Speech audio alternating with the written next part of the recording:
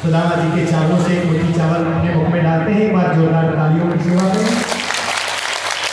भगवान ने एक मुट्ठी चावल खा करके सुदामा जी को एक लोक की संपत्ति दे दिया और दूसरी मुट्ठी भगवान ने मुख में डाला। संकल्प किया, मैं दूसरे लोक की संपत्ति सुदामा को देता हूँ। जोरदार तालियों की सेवा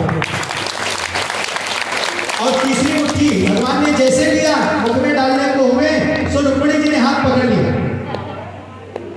और रुक्मणी ने इशारे में कहा, हम आज ब्राह्मण पर इतना बरस रहे हो कि सब क्या यही को दे दोगे और अगर